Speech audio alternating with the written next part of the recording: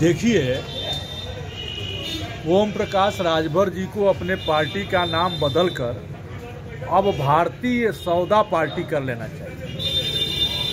उनके रोज रोज के सौदों को राजभर समाज समझ चुका है। इसीलिए पूर्वांचल के सभी राजभर वर्कर उनका साथ छोड़ चुके हैं। अब अपने संसाधनों से एक ही भीड़ को हर जगह ले जाकर और भारतीय जनता पार्टी के समक्ष गिड़गिड़ा रहे हैं कि किसी तरह से हमसे समझौता हो जाए। लेकिन अब सपा, लेकिन अब जो इनकी सौदेबाजी है, इसको सभी प्रदेश के राजनीतिक दल तो समझ ही गए हैं, राजभर समाज भी समझ गया है। क्योंकि जब ये कैबिनेट मंत्री थे तो राजभर आरक्षण पर चुप हो गए, एक भी सवाल एक ही बात नहीं उठाई।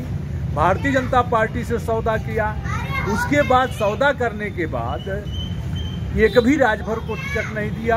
सारे टिकट उन्होंने बेचा काफ़ी दामों पर।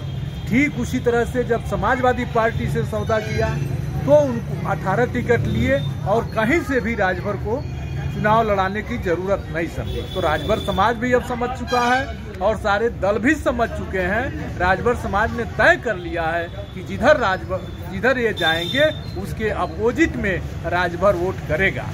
तो इस तरह से ये लोग अनर्गल प्रणाप समाजवादी पार्टी के खिलाफ कर रहे हैं कि किसी तरह से भारतीय जनता पार्टी मुझे सेट कर ले।